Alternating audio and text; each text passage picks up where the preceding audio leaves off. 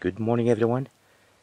So what you see here in my fingers, that's a bird that just crashed into the window of our house. And if you look closely, some of you they should be able to figure out what this species is called. We are, of course, located in Norway at the moment. I'm not able to return to my beloved Philippines with my wife and my children, so we, we are stuck here for the foreseeable future. And if you look close to this bird and looked close, you should be able to see uh, the color of the uh, head feathers, because that is a clue. And uh, a Latin name, it's uh, start with Sylvia.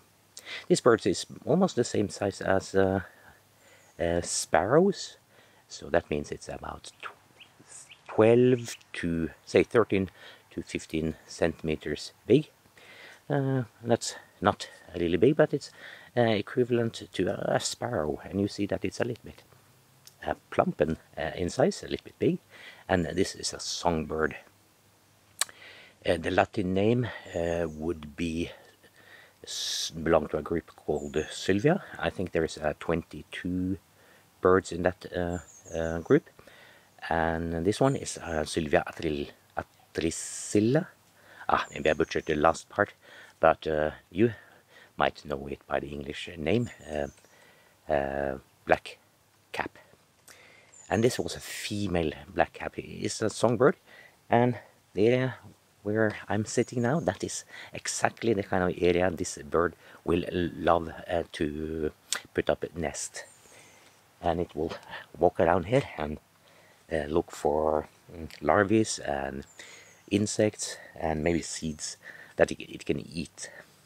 And I said it is breeding here because this bird is breeding in Norway but it's a migrant bird so it is actually not living here year round so it's migrate and then uh, fly from Norway and up here in Scandinavia all the way back to Spain uh, it can be uh, in Greece it can also be in parts of France and Morocco during the summer parts uh, all, all year but up here in the north it will just come in April and return at the latest in October.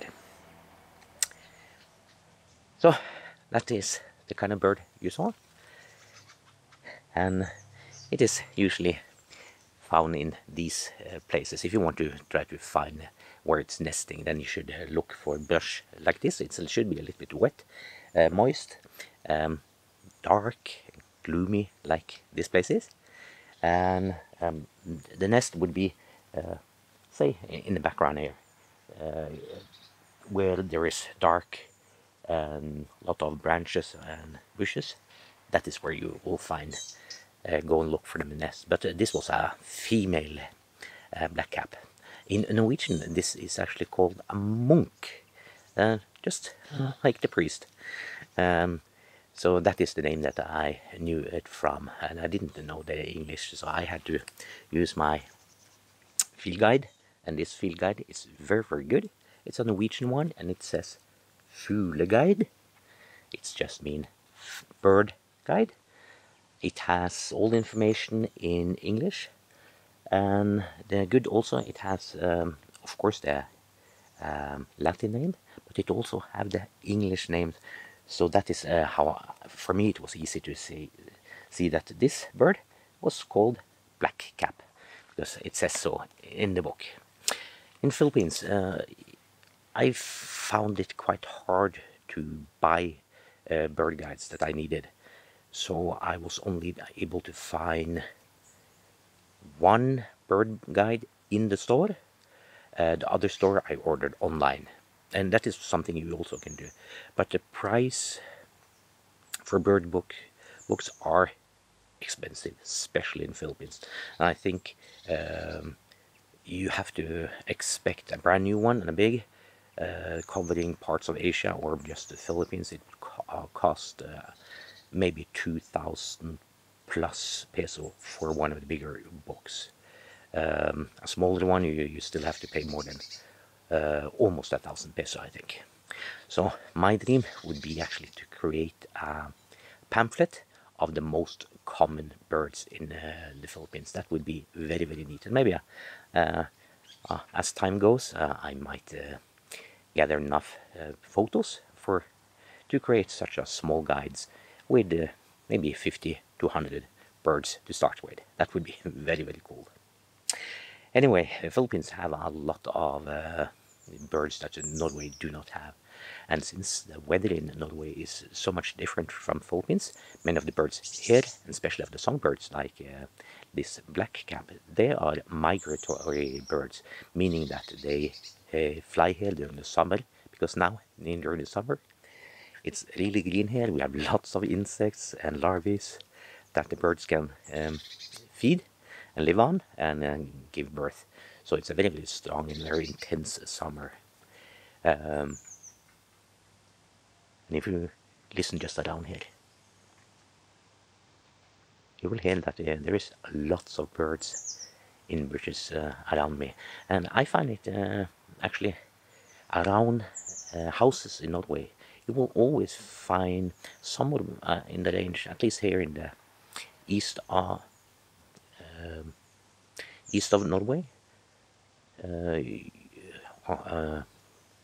south, I mean, south, southeast so here you will find uh, around the houses somewhere between 20 to 30, maybe up to 50 different species of birds uh, just around the neighborhood. And since all, most of them are just hiding inside these um, uh, uh, places where you find all these um, uh, trees with leaves, it can be very hard to to see them and film them. But just be patient and stay around here, and you will be rewarded because here there is lots of birds. So in this uh, small area, there is at least uh, 20 different uh, bird species at the moment. So this is a good place to to spot birds. As you see, I'm not in the Philippines at the moment. I wish I was. Uh, my family there are all okay. We will return as soon as the situation permits it. And uh, but I guess it will take many many months before it is safe for me to travel. Until then, I will uh, keep making more videos of bird places here in Norway. And if you have any special uh, requests, um, if you want to see waterfowl uh, or any particular place uh, or want me to do something or speak about something. Maybe you want me to tell about myself and my family, um, uh, my plans or anything. Uh, I think you can only just leave your comments below.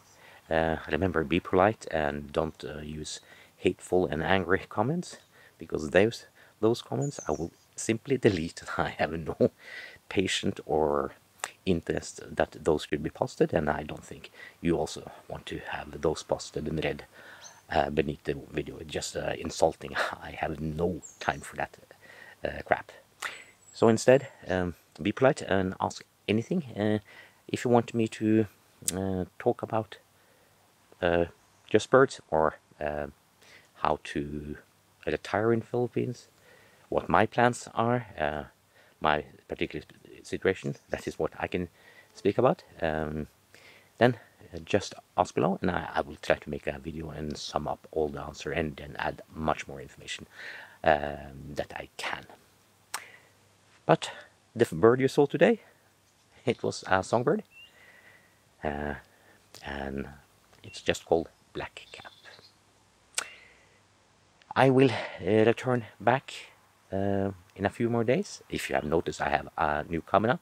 This time I switched from GoPro over to DJI action camera and together with that one I use uh, my uh, Rode microphone and this combination is super good and it's much much easier for me to use this as a vlogging uh, vlogging camera than my old uh, GoPro which was uh, I think it is more than 10 years old now So it was time for me to upgrade and buy something that uh, suits this situation much, much better.